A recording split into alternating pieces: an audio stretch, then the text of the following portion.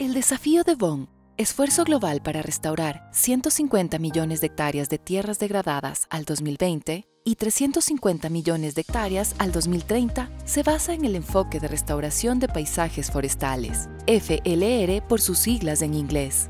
FLR es el proceso a largo plazo para recuperar la funcionalidad ecológica y mejorar el bienestar humano en paisajes forestales degradados y deforestados. Se trata de un enfoque integrado que busca que los bosques y las funciones que cumplen sean eficazmente restauradas y conservadas a escala de paisaje para asegurar integridad ecológica y medios de vida.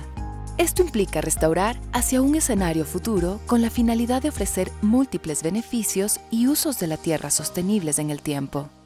Un paisaje restaurado es mucho más que plantar árboles. Puede comprender bosques de regeneración natural, agroforestería, silvopastoralismo, manglares, reservas de protección de vida silvestre, siembra de árboles u otras especies boscosas como bambúes, manejo de suelos, entre otros elementos.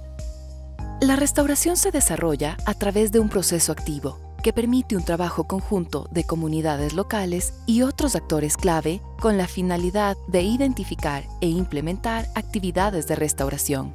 FLR está recibiendo atención prioritaria en los países de América del Sur y la UICN se encuentra apoyando a muchos de ellos en el diseño de planes, programas y estrategias de restauración que permitan la transformación de paisajes rurales para un futuro sostenible.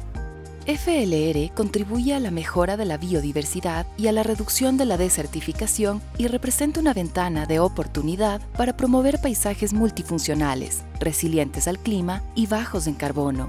También a impulsar la productividad agrícola y reducir la pobreza. Proteger los bosques es proteger la vida.